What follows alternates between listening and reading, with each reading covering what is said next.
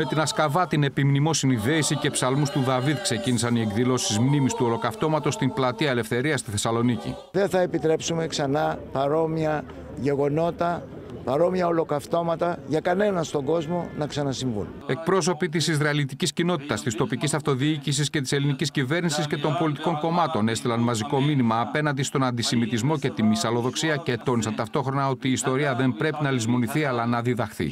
Today, the Jewish community of Thessaloniki continues to play an important role in the city life and has done a wonderful job of presenting, preserving its great legacy.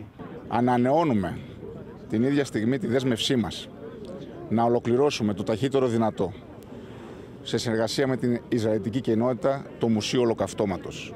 Ποτέ πια, ποτέ ξανά, κόντρα με τοπικά στο φασισμό, στο ναζισμό. Πολιτικοί και εκπρόσωποι φορέων κατέθεσαν στεφάνια στο μνημείο του Ολοκαυτώματος με πρώτη την Ρίνα Μπαρζιλάη Ρεβάχ ως εκπρόσωπο των επιζησάντων μελών της Ισραηλιτικής κοινότητας Θεσσαλονίκης.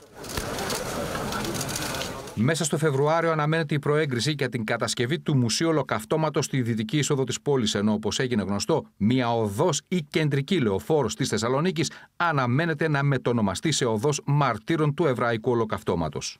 Όταν δεν αναγνωρίζουμε τα λάθη, δεν αναλαμβάνουμε την ευθύνη. Και όταν δεν αναλαμβάνουμε την ευθύνη, τότε πάντα είμαστε όμοιροι. Πολύ σύντομα η Θεσσαλονίκη με απόψη Δημοτικού Συμβουλίου θα έχει μια οδό, μια λεωφόρο Εβραίων μαρτύρων. Μικρά παιδιά, μαθητές δημοτικού σχολείου της Ισραηλιτικής κοινότητας Θεσσαλονίκης άφησαν ένα λουλούδι στο μνημείο στη μνήμη των θυμάτων του ολοκαυτώματος. Στο τέλος της εκδήλωσης τηρήθηκε ενός λεπτού σιγή.